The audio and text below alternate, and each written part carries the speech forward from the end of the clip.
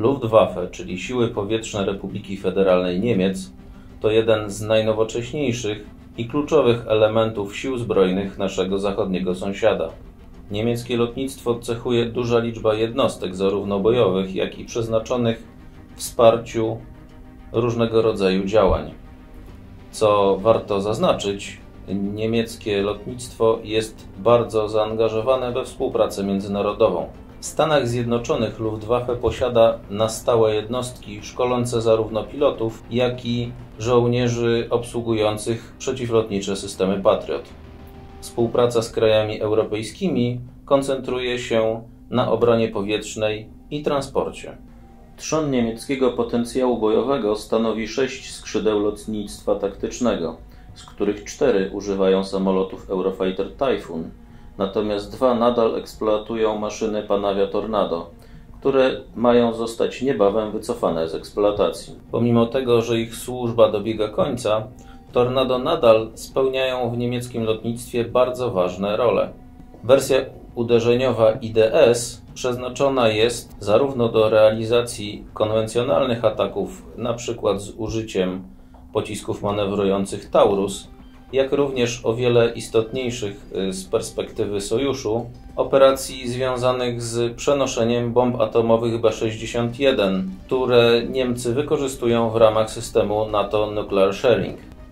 To właśnie przenoszenie przez samoloty Tornado broni jądrowej jest powodem, dla którego Niemcy mają poważne problemy z wyłonieniem jego następcy, a właściwie z uzyskaniem wystarczającego poparcia politycznego, szczególnie ze strony Zielonych, Die Linke i części SPD, którzy chcą zakończenia udziału państwa niemieckiego w programie NATO związanym z użyciem broni jądrowej. Zdecydowanie mniej kontrowersji budzi wersja do walki radioelektronicznej, oznaczona Tornado ECR, której głównym uzbrojeniem są obecnie pociski przeciwradarowe HARM. Na podstawie zawartej w 2019 roku umowy, część tych pocisków ma zostać podniesiona do nowej wersji oznaczonej jako ARGM o zdecydowanie poszerzonych możliwościach bojowych.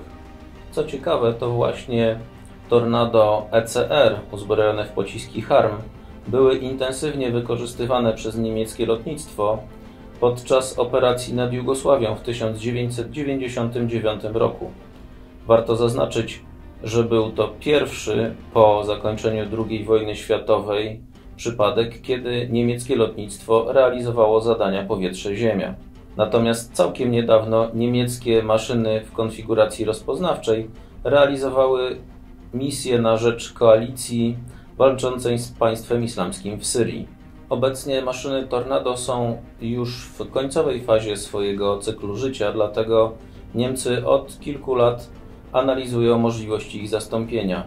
Ze względu na potrzebę przenoszenia broni jądrowej w ramach misji Nuclear Sharing, e, zwycięską opcją w tej kwestii pozostaje zakup samolotów amerykańskich Super Hornet oraz uzupełniający zakup samolotów Growler które będą realizować misje walki elektronicznej oraz zwalczania obrony przeciwlotniczej przeciwnika.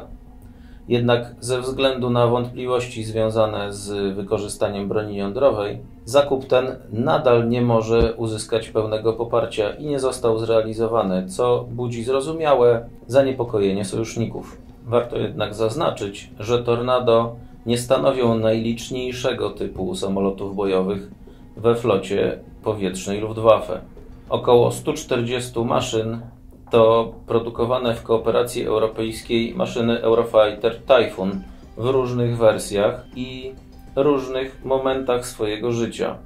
Należy bowiem zaznaczyć, że Luftwaffe posiada zarówno najnowocześniejsze warianty, mogące dysponować pociskami powietrze-powietrze Meteor czy bombami kierowanymi GBU-48, jak też znacznie starsze maszyny z pierwszych transz produkcyjnych, które zdolne są jedynie do realizacji zadań powietrze-powietrze. Niemieckie Ministerstwo Obrony zdecydowało, że nie ma sensu modernizować tych najstarszych maszyn, dlatego w ramach tzw. Tak projektu Kwadryga planowane jest pozyskanie od 33 do 38 nowych Eurofighterów w najnowszym wariancie mogącym realizować zarówno zadania powietrze-powietrze, jak i powietrze-ziemia z wykorzystaniem uzbrojenia kierowanego. W dłuższej perspektywie czasu niemiecką flotę powietrzną uzupełnią również samoloty szóstej generacji, których program realizowany jest wspólnie przez Niemcy, Francję i Hiszpanię w ramach tzw. Tak projektu FCAS. Na razie jednak jest to pieśń przyszłości, prace dopiero trwają i napotykają liczne problemy związane przede wszystkim z kwestiami finansowymi y, i przemysłowymi. Jak wspomniałem na początku, Luftwaffe dysponuje szerokim spektrum zdolności wsparcia. Te jednak rozbudowywane są częściowo na poziomie projektów sojuszniczych. Przykładowo Niemcy przystąpiły kilka lat temu do europejskiego programu wspólnej jednostki samolotów Airbus A330 MRTT, które mogą realizować zarówno zadania transportowe, jak też, czy może nawet przede wszystkim, operacje związane z tankowaniem w powietrzu. Dzięki temu flota od 8 do 11 maszyn będzie współdzielona przez kilka państw europejskich, a Niemcy będą mogli zwolnić z tych zadań i wycofać maszyny A310 MRTT, które jeszcze całkiem niedawno wspierały koalicję prowadzącą działania na Bliskim Wschodzie przeciwko państwu islamskiemu. Są to samoloty wykorzystywane przede wszystkim do tankowania w powietrzu. Niemcy uczestniczą też w europejskim dowództwie transportu lotniczego, tzw. Tak European Air Transport Command, a w ramach wspólnego projektu z Francją pozyskują samoloty C-130J Super Hercules i KC-130J. Dzięki temu zostaną wzmocnione zarówno zdolności transportowe, jak i tankowania w powietrzu, przede wszystkim śmigłowców. W Niemczech, a konkretnie e, w Geilenkirchen, stacjonuje też jednostka NATO wyposażona w samoloty AWACS, czyli maszyny wczesnego ostrzegania które stanowią istotny element obrony powietrznej NATO. Jeśli chodzi o możliwości transportowe Luftwaffe, otrzymuje ona również w ramach europejskiego projektu samoloty Airbus A400M Atlas. Jak dotąd dostarczono 36 spośród 53 maszyn, jakimi Luftwaffe chce zastąpić mocno już wysłużone transportowce C-160 Transal, które wykorzystywane są obecnie w dwóch eskadrach. Nie należy też zapominać, że Luftwaffe realizuje zadania związane z transportem najważniejszych osób w państwie, dysponując w tym celu flotą samolotów i śmigłowców do przewozów VIP i HED. To łącznie kilkanaście maszyn różnego typu. Są to zarówno większe samoloty, takie jak Airbus 350, 340 czy 310, jak też znacznie mniejsze Bombardier Global 5000 czy Bombardier Global 6000. Flotę tą uzupełniają również trzy śmigłowce typu Cougar.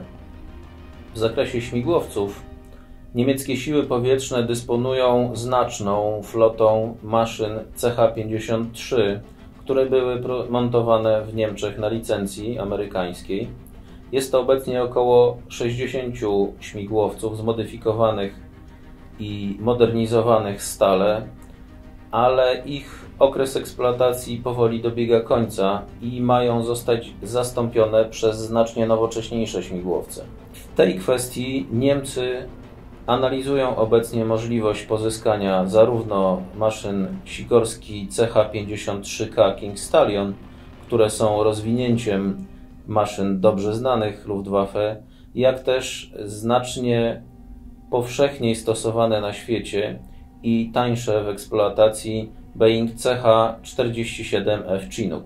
Do sił powietrznych trafiają również znacznie lżejsze śmigłowce typu Airbus H-145M, których docelowo ma być 15. Należy jednak zaznaczyć, że nie jest to cała flota śmigłowców, jakimi dysponują Niemcy, gdyż Większość wiropłatów znajduje się w lotnictwie wojsk lądowych i są to zarówno maszyny transportowe, takie jak NH-90, jak też śmigłowce uderzeniowe Tiger. Wracając do niemieckich sił powietrznych, ich strukturę dopełniają liczne jednostki szkoleniowe, w tym znajdujące się na terytorium USA zarówno lotnicze, jak i przeciwlotnicze oraz pododdziały wsparcia, a także nadzoru przestrzeni powietrznej, które obsługują systemy radiolokacyjne. Istotnym komponentem Luftwaffe są również systemy obrony powietrznej. Od momentu rozformowania jednostek przeciwlotniczych, które znajdowały się w niemieckich wojskach lądowych, to właśnie siły powietrzne odpowiedzialne są całkowicie za zintegrowaną obronę przeciwlotniczą. Jej trzon stanowi 12 baterii systemu Patriot, który obecnie modernizowany jest do wersji PAK-3 PDB-8. Niemcy od kilku lat planują również zastąpienie Patriotów sieciocentrycznym systemem TLVS, który oparty jest na rozwijane wspólnie z Włochami USA rozwiązanie znane pod y, kryptonimem MITS. Jednak na chwilę obecną, zarówno w zakresie decyzji politycznych, jak i finansowych i przemysłowych, program ten nie został zakończony sukcesem. O ile do czasu wprowadzenia systemu TLVS poziom obrony średniego zasięgu rozwiązują systemy Patriot, to niższe poziomy obrony przeciwlotniczej, czyli krótkiego i bardzo krótkiego zasięgu, wyglądają w Luftwaffe naprawdę kiepsko.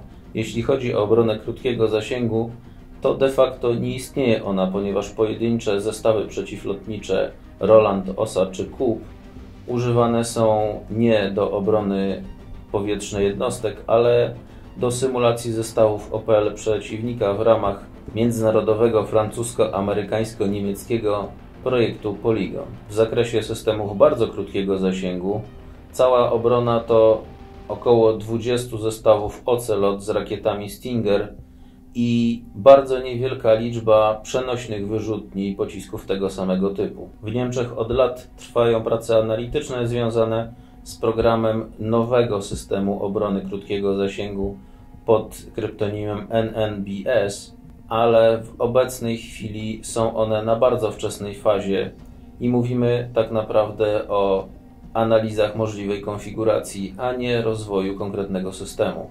Podsumowując możliwości niemieckich sił powietrznych, należy powiedzieć, że Luftwaffe posiada znaczny potencjał, jeśli chodzi o lotnictwo taktyczne i transportowe, natomiast zdecydowanie niedostateczne możliwości, jeśli chodzi o obronę przeciwlotniczą. Jeśli chodzi o priorytety, to oprócz programów obrony przeciwlotniczej, bardzo ważnym problemem pozostaje zastąpienie samolotów Panavia Tornado, zarówno w roli nośnika broni jądrowej, jak również maszyn do zwalczania systemów obrony przeciwlotniczej. Są to tematy, na których niemieckie siły powietrzne będą musiały skoncentrować się w najbliższym czasie, aby nie utracić kluczowych możliwości związanych zarówno z działaniem na rzecz własnych sił, jak również z działaniami sojuszniczymi.